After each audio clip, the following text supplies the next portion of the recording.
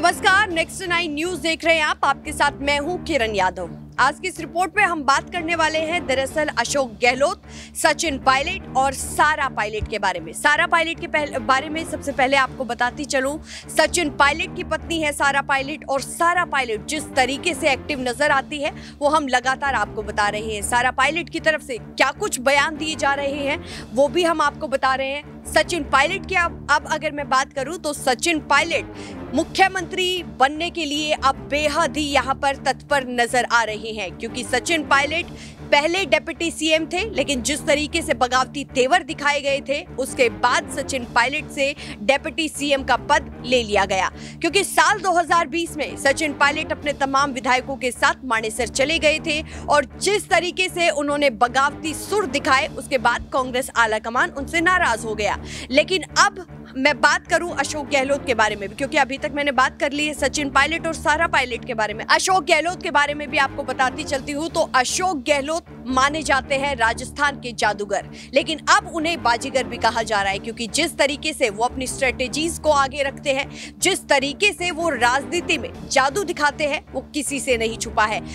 अशोक गहलोत लगातार अब इसी कोशिश में है, इसी उम्मीद में है कि अब सचिन पायलट को मुख्यमंत्री पद नहीं दिया जाना चाहिए। यहाँ तक कि उन्हें ये भी उम्मीद है कि सचिन पायलट को कोई भी बड़ा पद नहीं दिया जाना चाहिए। लेकिन आपको मैं बताती चलूँ, सचिन पायलट राजस्थान के एक वरिष्ठ नेता है, एक बड़े नेता है, लेकिन अभी सचिन पायलट सिर्फ़ और सिर्फ़ टोंक से विधायक है। तो लगातार सचिन पायलट के जितने भी समर्थन वाले विधायक है, उन सभी की तरफ़ से यही कहा जा रहा है कि सचिन पायलट जैसे वरिष्ठ नेता को सिर्फ़ और सिर्फ़ एक विधायकी देना, कोई भी बड़ा पद नहीं देना, अपने आप में उनका अपमान है।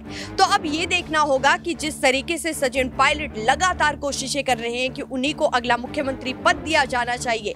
जिस तरीके से कांग्रेस आलाकमान से मुलाकात कर रहे हैं और बीते दो दिन पहले तो उन्होंने अशोक गहलोत की तुलना कर दी गुलाम नबी आज़ाद के साथ। वही गुलाम नबी आज़ाद जिन्होंने कांग्रेस का साथ छोड़ दिया था और कांग्रेस आलाकमान पर गंभीर आरोप लगाए थे। यही कहकर कि वहाँ पर उनकी पूछ नहीं हो रही है।